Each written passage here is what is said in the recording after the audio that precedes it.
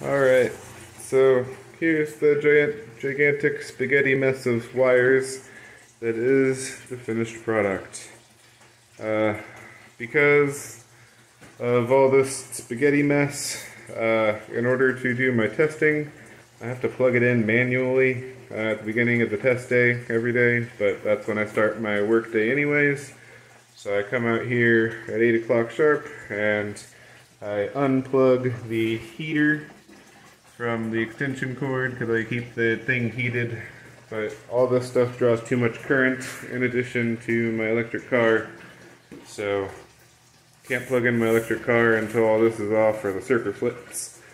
But I come in, unplug the heater, plug in the power strip, and then this guy here is my power source uh, controlled by an Arduino for the pumps feeding these two beds have soil moisture sensors on each of them here that go back to the Arduino that also controls the pumps because I had to get two data logging shields because they both need real-time chips. And then this data logging thing also doesn't have the pin things that I need to do the soil sensor.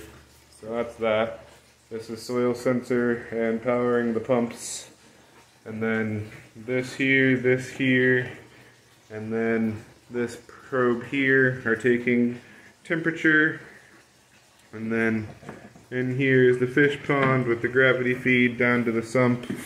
And then the other two pumps are in the sump and come out of each of these hoses. I've had my data collected and have been writing all that, but gonna get this all recorded so that I can tear this beast apart and finally actually have some room to park again. So, yeah, finally done.